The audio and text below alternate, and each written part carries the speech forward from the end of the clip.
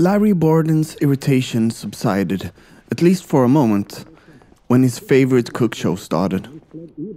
Before the end of the day, Larry, who was newly unemployed, would have seen more dead people than in his eight year long stint as a police officer. Unbeknownst to Larry, his wife was trapped behind the now fenced off Louisville. His wife's absence was the current object for his now five day long growing irritation. Chicken noodle soup. That's nice, he thought to himself. As he picked up the book Tailoring for Beginners, his irritation returned. The book was a present for his wife. She should have been home several hours ago. The thought that something might have happened to her slipped into his mind. Boring commercials, he muttered. The real source for his irritation was the fact that he had been fired from his job as a police officer.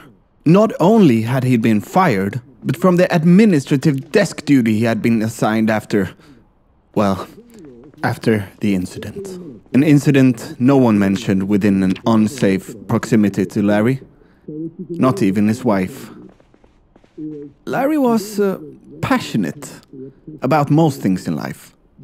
And his wife's well being was actually more than often on the top of his priorities. As he realized the reason for his wife not having come home, the Knox County Exclusion Zone, as the news reporters had called it, he was smitten by the feeling of utter concern for his wife. Where is she? He thought. He was actually feeling rather helpless. The words from the reporter, confusion and panic, echoed in his mind as he closed the curtains. In an attempt to thwart his feelings of inadequacy, he began to read the book he had planned to give to his wife. The book that would belong to his wife comforted him. As he read the book, his feelings of inadequacy quickly transformed into hubris. A silly book for beginners wouldn't do as a present. This is for Mrs. Borden, for God's sake. Why not uh, make an elegant dress? A summer jacket, or at the very least, some comfy socks? The news broadcast had come to an abrupt end, and suddenly he heard an unfamiliar sound. This sound was. Yes. It was most definitely creepy. I better make sure that I've locked the door, he thought to himself. The door was locked. Larry just now realized he had been lying in bed for the better half of the week. He had missed his wife's comings and goings. He had missed her making a quick dinner for the two of them, her nervousness before her big meeting in the big city. Was it supposed to have turned out like this? he thought, as he hurriedly ate from a jar of peanut butter. Their move to the quaint little summer town of Riverside was supposed to have been an opening, an unlatching from the shackles of the past. It was supposed to have given his police career a reawakening, a rejuvenation from the old, oh so old incident from last year. Administrative desk duty in Riverside was a new chance given by the sheriff, a chance he had blown with disappointedly reassurance. But Larry knew he was capable. And he was a capable man. In actuality, even the sheriff had thought so, which is why she had become so disappointed in him. Capable Larry decided to go out and search for his wife. Exclusion zone. What a load of bull. Besides, he still had his uniform. That ought to give him some benefit in the midst of all of this confusion and panic. but I'm gonna look good when I find my wife. He was carrying his finest suit pants. He went on to search the upstairs and grabbed what he deemed useful. His feelings of irritation had completely left him. He was starting to feel confident. A confidence that bloomed from the love he felt for his wife. At the sight of the pink pants, however, his confidence wavered. But the love he felt for his wife was assuring. He need not to worry. After a thorough search of the upstairs, he started to mentally prepare for his journey to Louisville. The voices outside were still there. Normally, he would promptly have chased away those damn up to no good hippies and junkies. There was something upsetting about this voice. Something was really wrong about it. Larry was hesitant. On Triple N, Judge Matt Hass was being interviewed. He was talking about a general by the name of John McGrew. The whole thing was quite disturbing. Perhaps this situation really was serious. I'm sorry for the people inside, Judge Hass said. Larry's hesitation gave way for a feeling of urgency.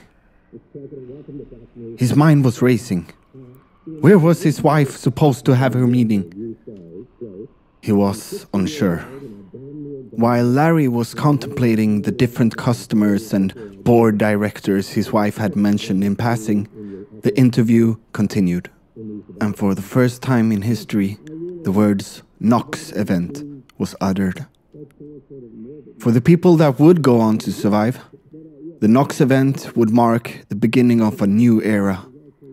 From there on, there would not only be BC and AD, but PK, post Knox. Larry was feeling anxious. He took one last peek out the window before he went back to the TV, glanced at it, and simply turned it off. A sigh. Suddenly, he became aware of a gnawing hunger. He grabbed some frozen peas and squeezed some honey into his mouth.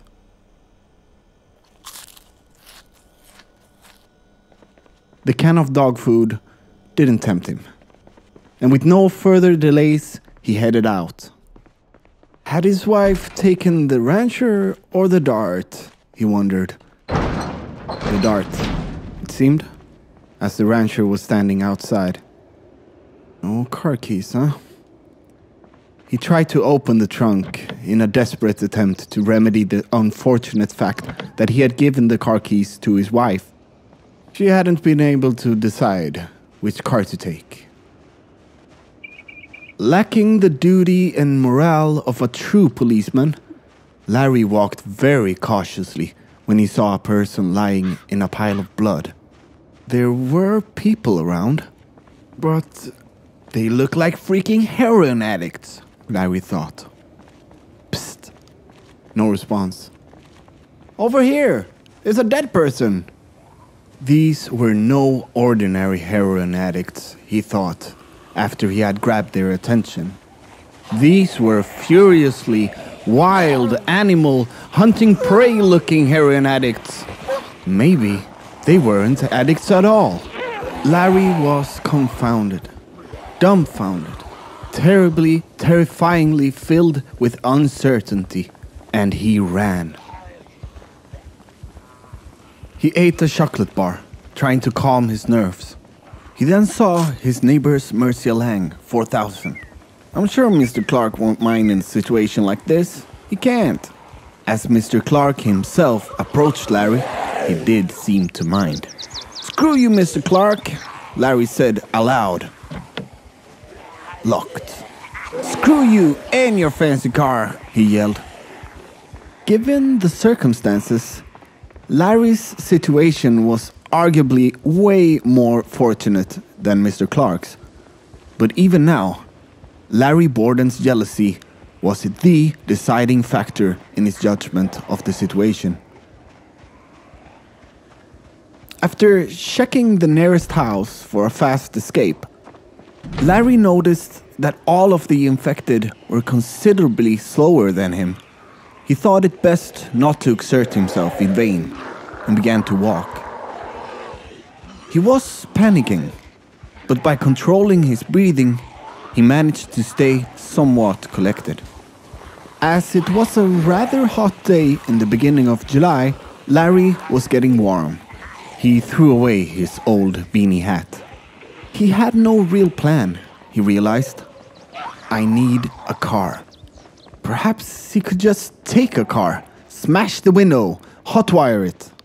No, Larry wouldn't know how to do that. As he disappointedly walked away from the locked car, Larry noticed an infected eating the raw meat of another dead person. Behind him, a trail of infected was following him.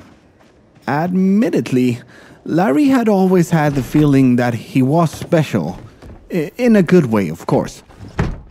But if he really was a chosen savior, these were not his followers.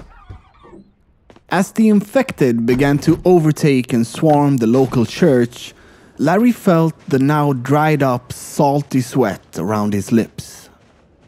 He imagined himself taking a cool bottle of water in his hands, letting the water run along his dry throat. He imagined himself running through the aisles of Gigamart, but then trapped and being run down. The image of his own body down on the ground, being teared up and eaten raw, flashed before his inner eyes. In the midst of this morbid fantasy, memories from the incident popped up. Larry was thrilled and enraged in a deadly mix, like Red Bull and vodka. And now, in Riverside, in a very uncharacteristic pile of trash, Larry left a corpse. The first dead zombie of many to come. End of chapter 1.